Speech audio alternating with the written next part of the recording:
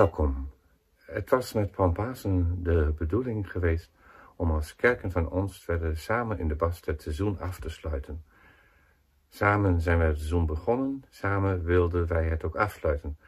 Wij hadden een feestelijke dienst gepland in de Bast, samen met muziek en zang, met de groep Evangeliek, open, gasvrij voor elke een.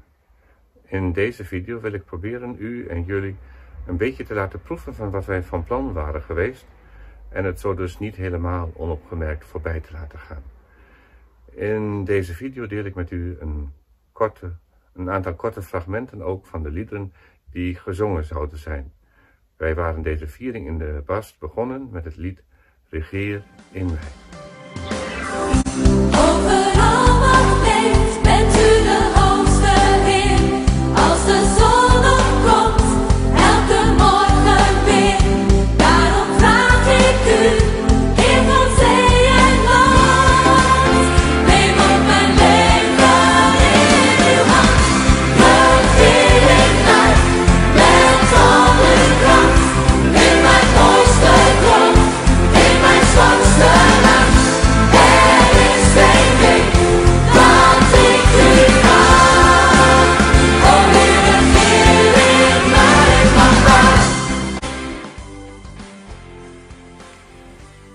Dienst staat onder een zekere ster. En ook al leef je in een tijd van zorgelijke omstandigheden, die ene ster staat boven alles. Dat is de naam van de Heer die er altijd zal zijn. Hij is hulp en troost in alle dagen. Zijn vrede zij met een ieder van ons. En daar willen we dan ook om gaan bidden. Goede God, wat een penarie. Ja, in wat voor penarie zit de wereld toch? En wij, opgesloten in ons eigen kleine bestaan, dat, dat nu soms extra klein en beklemmend is, wij zoeken de ruimte, zoeken mens te blijven. Bang en benauwd is het menigeen om het hart. Hoe blijven wij overeind? Kwetsbaar en bedreigd staat ons bestaan op het spel. Hoe zijn wij hier terechtgekomen? Hoe komen wij er doorheen? Hoe gaat het nadien weer verder? Help ons, Here, op onze weg. Sta ons bij. Wilt u ons zegenen, samen, elk apart en als we weer samenkomen. In Jezus' naam. Amen. Woorden uit Psalm 118. Loof de Heer, want Hij is goed. Ja, zijn goede tierenheid is tot in eeuwigheid. Laat Israël nu zeggen, zijn goede tierenheid is tot in eeuwigheid. Laat het huis van Aaron nu zeggen, zijn goede tierenheid is tot in eeuwigheid. Laat wie de Heer vrezen nu zeggen, zijn goede tierenheid is tot in eeuwigheid. Ik loof u, omdat gij mij geantwoord hebt en mij tot heil geweest zijt. De steen die de bouwlieden versmaad hebben, is tot een hoeksteen geworden. Van de Heere is dat geschied. Het is wonderlijk in onze ogen.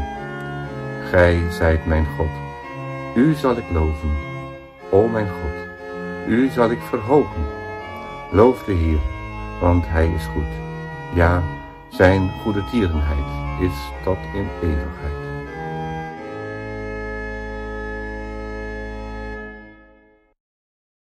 Wij hadden in deze dienst ook eh, willen lezen uit 1 Petrus 2.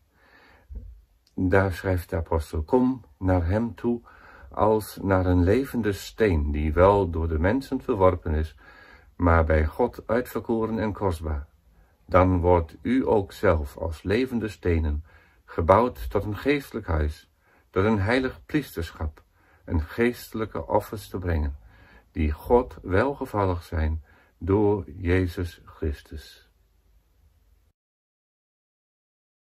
Beste mensen, wat een onverwacht einde aan het kerkelijk seizoen dit jaar.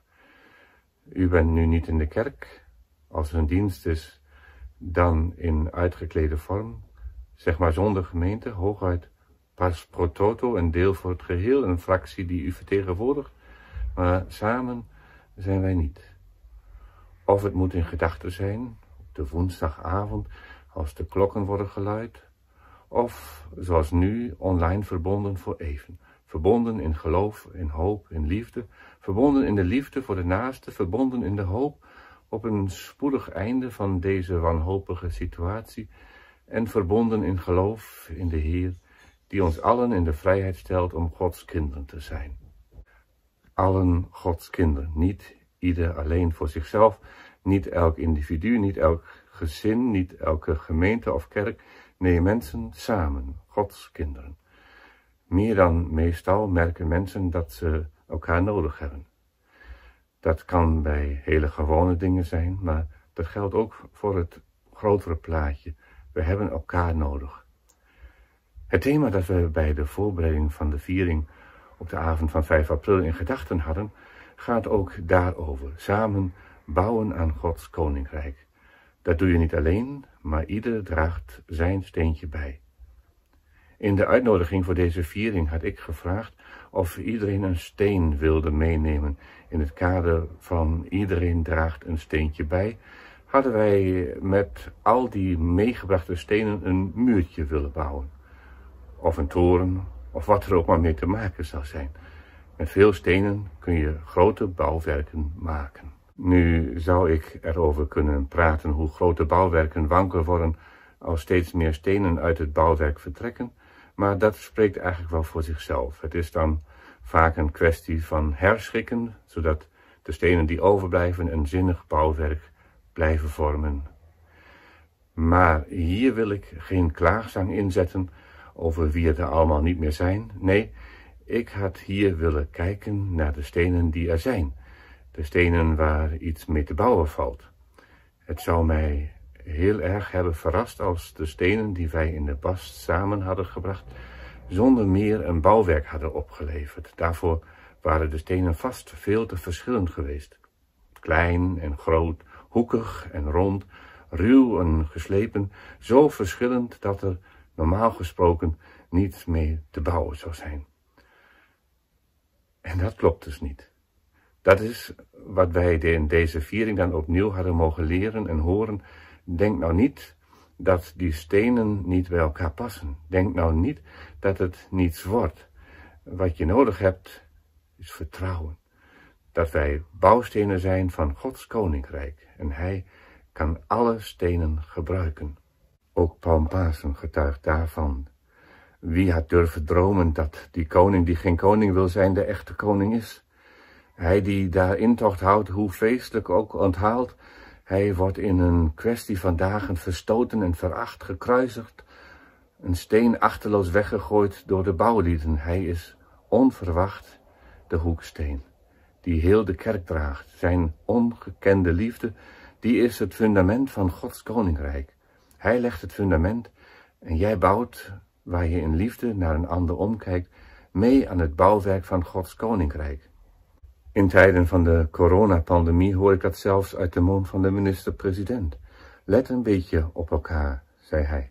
Daar begint het, waar mensen oog hebben voor de ander, waar omzien naar elkaar misschien net iets meer van je vraagt dan anders, omdat je nu eens bewust de telefoon moet pakken of bewust een kaartje moet sturen naar hen voor wie het eigen zelfstandige plekje ineens een quarantaineplek is geworden. Denk aan je buren, aan zieken, aan ouderen, aan mensen die verzorgd moeten worden en aandacht moeten ontberen. Let een beetje op elkaar. Daar waar dat gebeurt, bouw je mee aan het droomkasteel van Jezus, dat wij in de kerk Gods koninkrijk noemen. Maar hoe je het ook noemt en wat je voor beeld je er ook van hebt, blijf bouwen. Dan wordt het Pasen, dan zegeviert het leven en de liefde. Draag je steentje bij, bouw mee. Toon liefde aan de ander.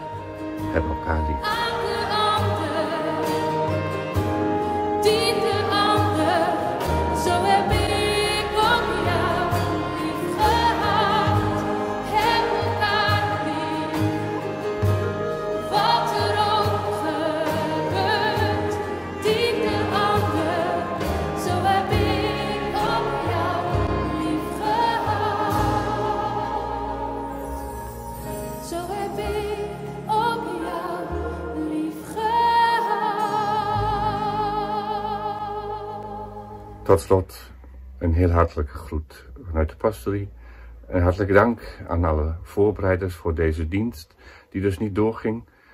Dank voor iedereen die op de achtergrond mee heeft gewerkt. Iedereen die het mogelijk maakt dat dit videootje ook online komt. U allen een heel hartelijke groet. Ik zou zeggen, ga met God en Hij zal met je zijn. Ga met God en Hij zal met je zijn.